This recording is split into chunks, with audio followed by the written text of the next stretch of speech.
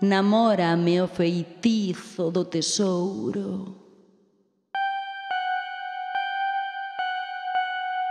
Fino brocado de candeas de ouro.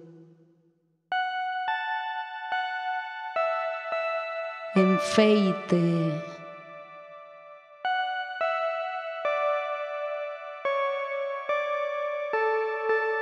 dos petrucios castiñeiros.